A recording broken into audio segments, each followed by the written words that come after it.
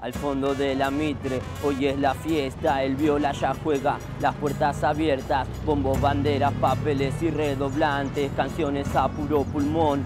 Acá no hay parlantes, campana de punta a punta se tiñe de violeta. En cada barrio la esperanza de dar la vuelta, buscando los tres puntos, no importa el contrincante. La banda te acompaña siempre y a todas partes. Gracias Viola, vos sos la alegría de San Cayetano, las acacias, Santa Florentina, San Jacinto, de Río Luján, de todos los barrios del distrito.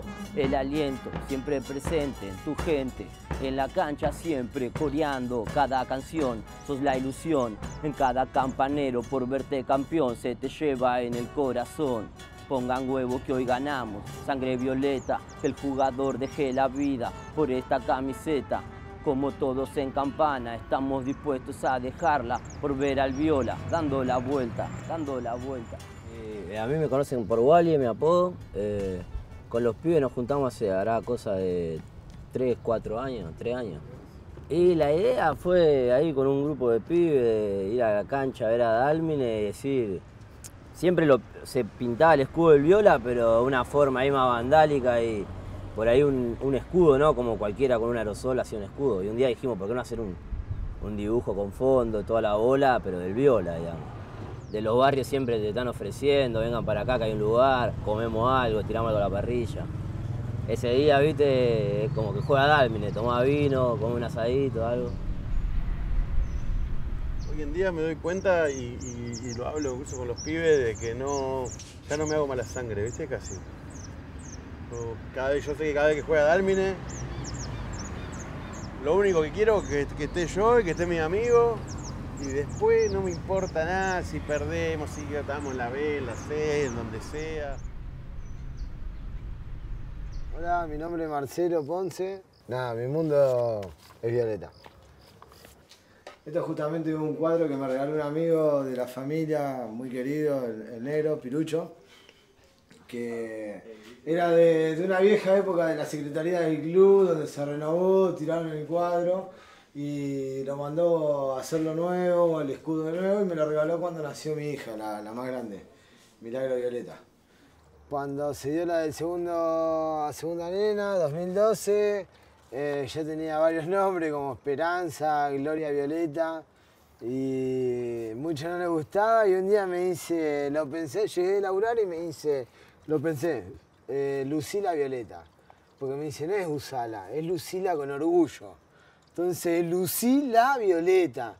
Y con el tiempo se nos dio ahora nuestra tercera hija.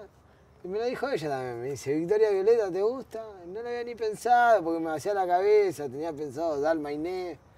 Y digo, bueno, sí, Victoria Violeta. Hubo un tiempo que yo me retiré, ¿viste? Me iba mal la cancha, estuve como cinco años sin ir a la cancha.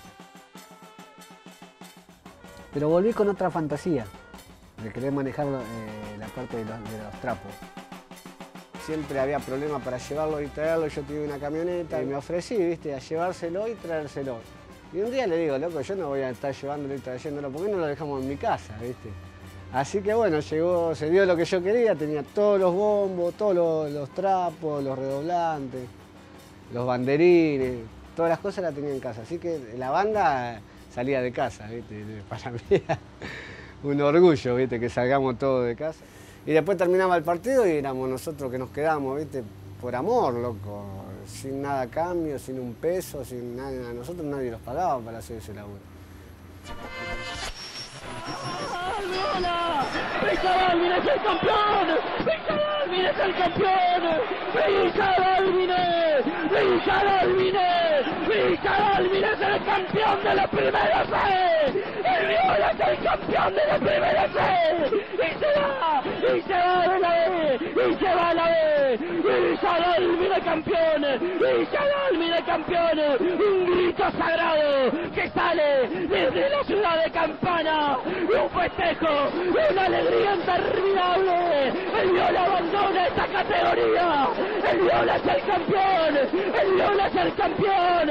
Repítalo, grítalo en el mundo entero. Alvin es campeón de la primera C. Villa Dalmine campeón de la primera C. Villa Dalmine campeón de la C. 2011, 2012, ascendió Dalmine. Señoras, señores, ascendió Dalmine. Caruso Lombardi que no lo puede creer, no puede entender cómo se perdió esta final. Dalmine de la B Nacional, celebre, campana, disfrute, celebre, campana, pase una noche inolvidable. Abracen a Klendic, al huevo Rondín, a Cérica. Caruso sigue sin encontrar respuestas.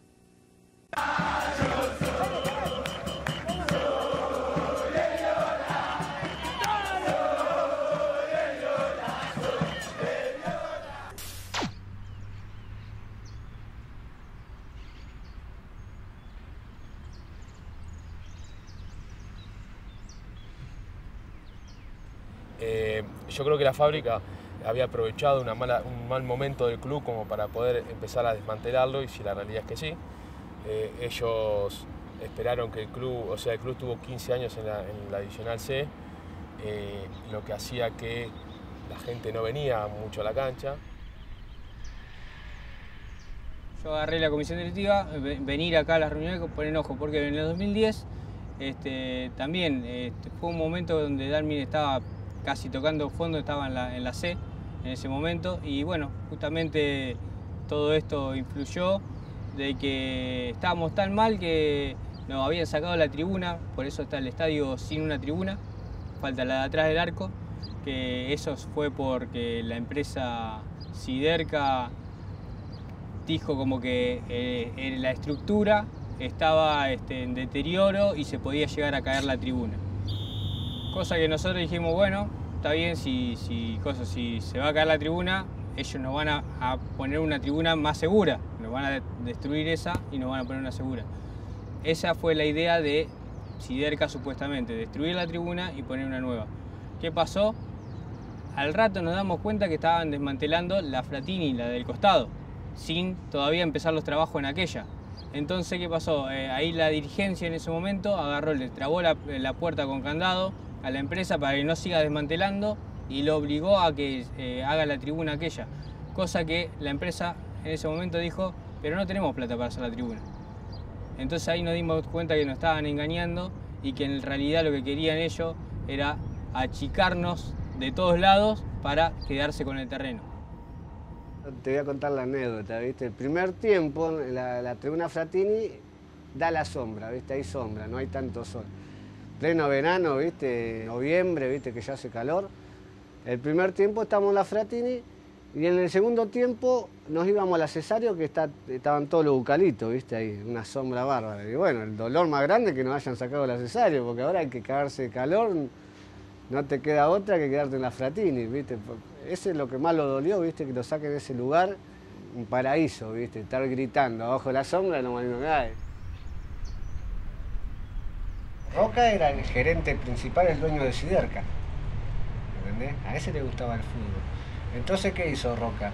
La fábrica tenía eh, 5.000, 6.000 personas laburando, ¿no? Automáticamente de tu recibo de sueldo te descontaban la cuota socio, ¿viste? Así que se generaba mucha plata, porque la cantidad de empleados que tenía eh, ¿viste? la fábrica eh, era una plata importante para el club.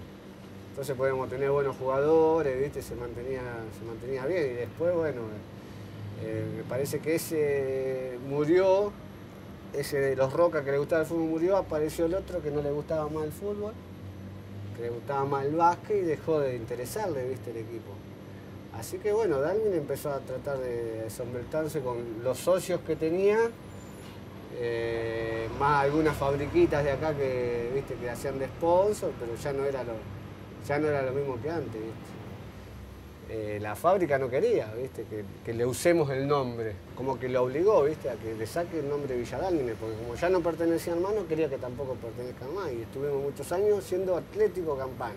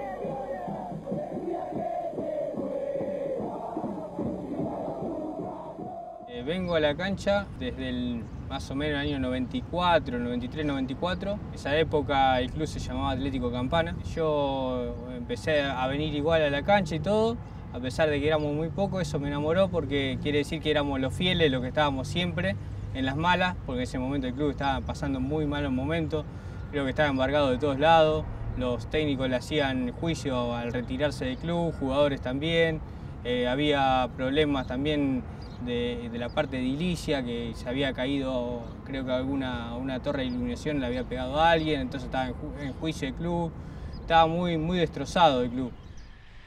El año 2001 eh, iniciamos con un proyecto Violeta 2002, se llamaba, ¿no? Y bueno, un grupo de muchachos empezamos con eso, colaborar un poquito con el club, quizá no nos dejaban participar mucho los que estaban, pero bueno, fuimos metiéndonos y logramos que hubiera elecciones en el año 2002, en junio.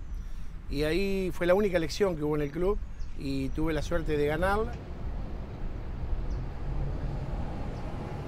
Este, durante algunos años se evaluó la posibilidad, dado que el estadio era pertenencia de la empresa Tenaris Siderca, y ante esas circunstancias este, presenté un proyecto en el Consejo Deliberante, donde lo nombraba Patrimonio Histórico de la ciudad, por lo cual el estadio y sus pertenencias no podrían ser utilizados para otra cosa que no fuera como estadio de fútbol. Eso generó un comienzo, digamos, de negociaciones entre la empresa, el club y la municipalidad para lograr el objetivo de que en realidad el estadio pasase a, nombre de Villa Ese proyecto fue aprobado unánimemente allá por el año 2010 por toda la, el Consejo Deliberante de Campana fue, y fue avalado por el Departamento Ejecutivo que comenzó la tarea, ya ahora desde el punto de vista de que eso era un monumento histórico, patrimonio histórico, para ver de qué forma se podría hacer este, ese traspaso final que todavía hoy está esperando que se concrete finalmente a partir de 2015-2016 se logró em, avanzar con esa gestión, se logró hacer un canje con la empresa, con la empresa Tenaris, donde el puerto de frutos de Campana, que era propiedad del municipio, pasa en manos de la empresa y la empresa a cambio le canjeó el terreno donde estaba el estadio.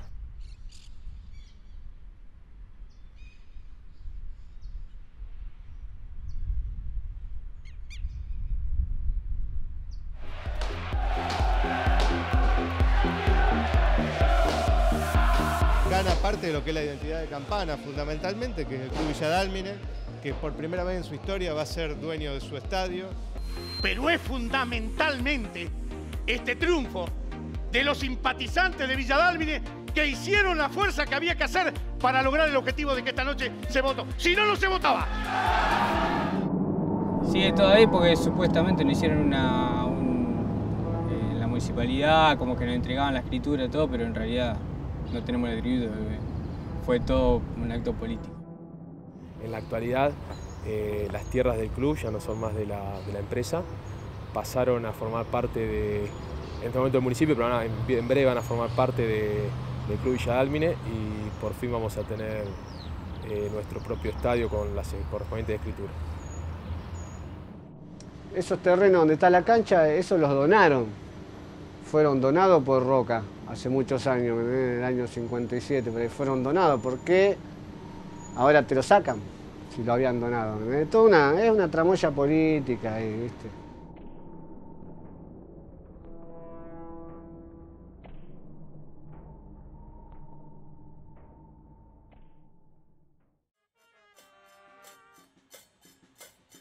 Es solamente fútbol y que se abren las puertas nada más los sábados y se cierran y chau y no pasa más nada. Porque nosotros queremos mostrar que Dalmi es todos los días. Es de, es de lunes a domingo, eh, hay gente trabajando, están los cancheros, está la, gente que tenemos arreglando cosas, hay gente de mantenimiento, este, está la secretaria, hay, hay mucha gente ahí, trabajando por el club todos los días. Hay un club en Campana que se llama Villa Dálmine, que, que está abierta las puertas, que pueden venir este, los días de partido o los días que practica. Eso es lo lindo, es familiar.